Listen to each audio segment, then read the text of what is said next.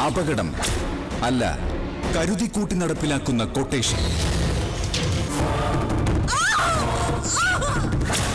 അവൾക്കൊന്നും സംഭവിച്ചില്ലെങ്കിലും അവളുടെ കുഞ്ഞു തീർന്നു കാണും.